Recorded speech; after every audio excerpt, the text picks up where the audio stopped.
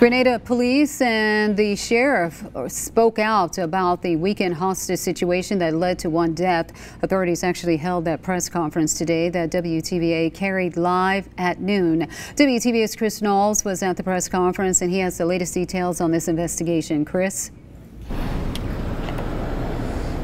Tanya, I'm here at the Walgreens where everything happened.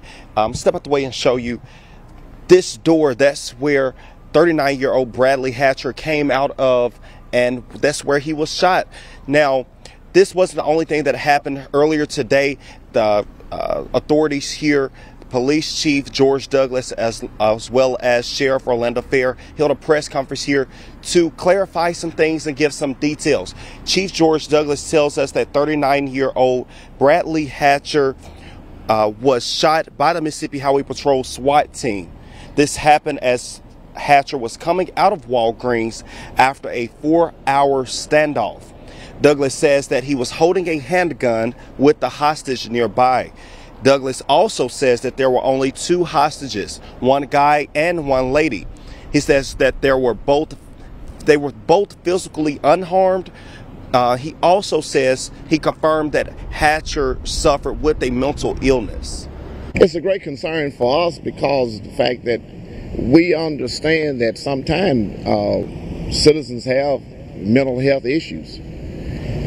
But however, when it becomes deadly, we have to we have to proceed in the manner that we did uh, dealing with this situation. And we don't like that. We're not happy with that none whatsoever. We can't answer the question is what is the answer to mental health. I'm I am not professionally prepared to answer that question.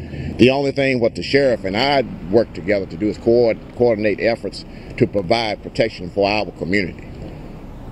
Hatcher's family tells us that he was schizophrenic and that he suffered with bipolar disorder and PTSD. Now, coming up on WTVA 9 News at 6, we will have a live interview with those family members, the mother and father of Hatcher. But coming up on WTVA 9 News at 5, we will talk to a business owner. The business owner is actually the owner of this plaza of businesses here in Grenada. He witnessed it all go down, and he's going to tell us, you know, what it was like witnessing all of that here on WTVA 9 News at 5. Reporting live here in Grenada, Chris Knowles, WTVA 9 News.